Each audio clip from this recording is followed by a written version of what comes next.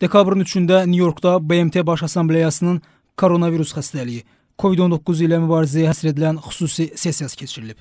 Azərbaycan Respublikasının prezidenti Qoşulmama Hərəkatının sədri İlham Əliyev sessiyada video formatda çıxış edib. Hörmətli cənab sədr, hörmətli dövlət və hökumət başçıları, xanımlar və cənablar. Qoşulmama hərəkatına üzv olan 120 dövlət adından çıxış etməkdən şərəf duyuram.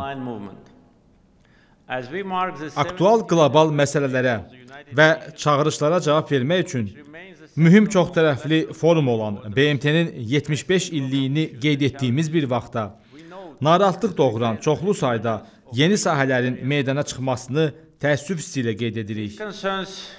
Həmin narahatlıqlar BMT nizamnaməsini və dayanıqlı inkişaf üzrə 2030 gündəliyinin təməlində duran multilateralizmə və beynəlxalq əməkdaşlıq dəyərlərinə kollektiv sadiqliyimizi yenidən nümayiş etdirməyi tələb edir.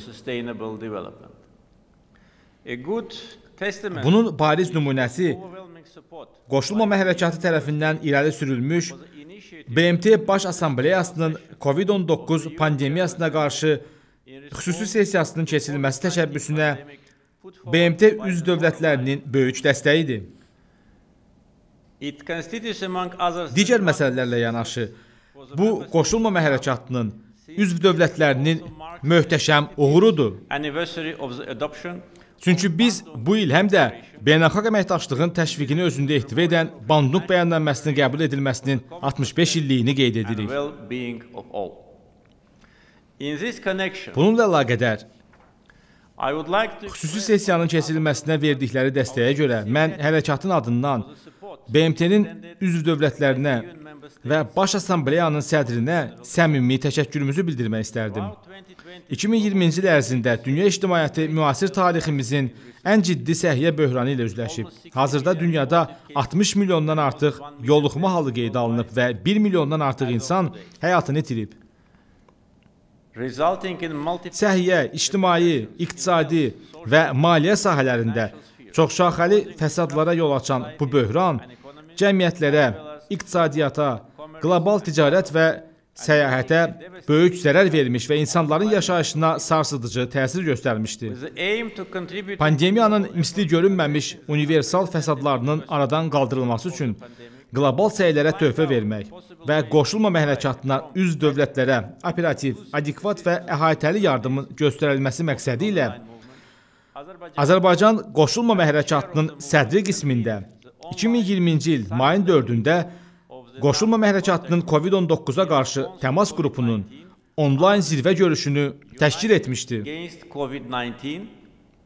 Həmin toplantının praktiki nəticəsi olaraq hərəkata üzv dövlətlər COVID-19 ilə mübarizə və koronavirusla bağlı Qoşulmama Hərəkatının üzv dövlətlərinin əsas humanitar və tibbi ehtiyac və tələblərinə dair məlumat bazasının yaradılması üçün işçi qrupun təsis edilməsi qərarına gəlmişlər.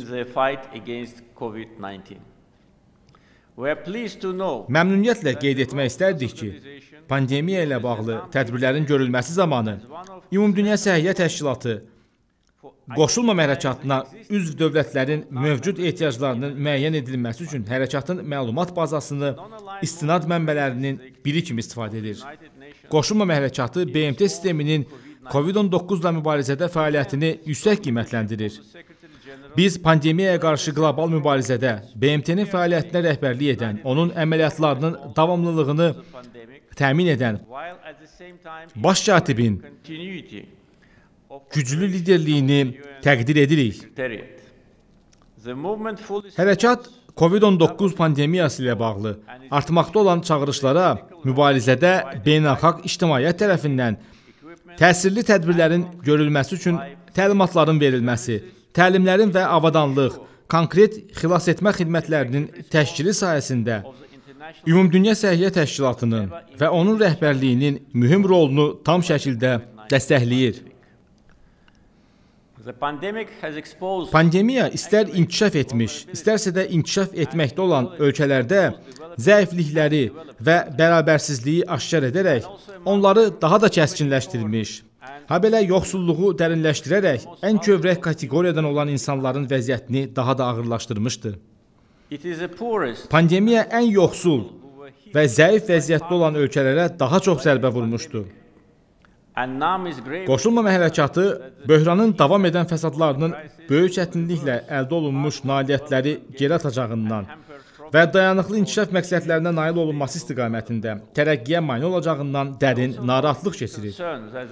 Həmçinin narahatlıq hissi ilə onu da qeyd etmək istərdik ki, pandemiya ədalətli və bərabər hüquqlu dünya nizamına nail olmaq üçün mövcud fundamental problemlərin daha da artmasına səbəb olmuşdu.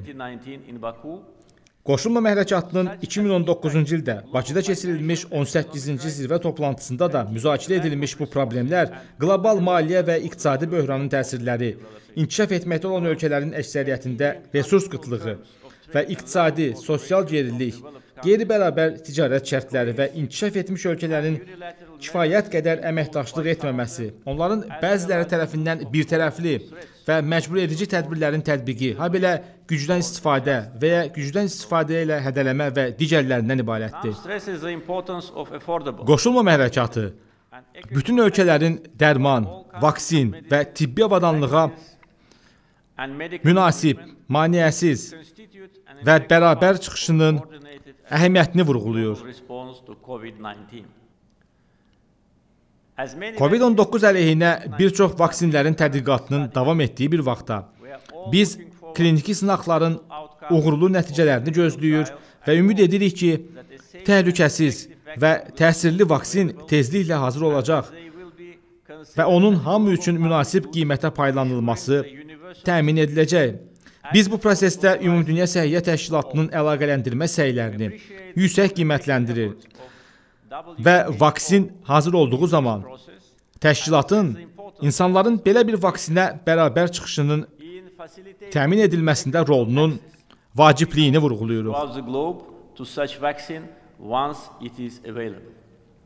is Cənab sədr, beynəlxalq ictimaiyyət yalnız birlik, çoxtərəfli əməkdaşlıq, həmrəylik və insan hüquqlarına hörmət əsasında COVID-19-un fəsadlarının aradan qaldırılması və hazırda yayılmaqda davam edən pandemiyadan xilas olmaq üçün strategiyalar hazırlaya bilər. Bu xüsusi sessiya beynəlxalq əməkdaşlıq və multilateralizmə sadiqliyin bir daha təsdiq edilməsi və gücləndirilməsi, habelə ən yaxşı təcrübələrin vurğulanması kimi geniş məqsədlərə xidmət edəcək. Xüsusi sessiyada həm də pandemiyaya qarşı mübarizədə üzv dövlətlərin üzləşdiyi çağırışlar nəzərdən keçiriləcək və üzv dövlətlər, müşahidəçi dövlətlər, müşahidəçilər, BMT-nin aidiyyəti agentlikləri, qurumları və digər maraqlı tərəflər arasında açıq və şəffaf müzakirələrin aparılmasında BMT-nin mərkəzi roluna dair müzakirələr aparılacaq. Sessiya çərçivəsində səmərəli müzakirələrin aparılacağına inanırıq. Sağ olun.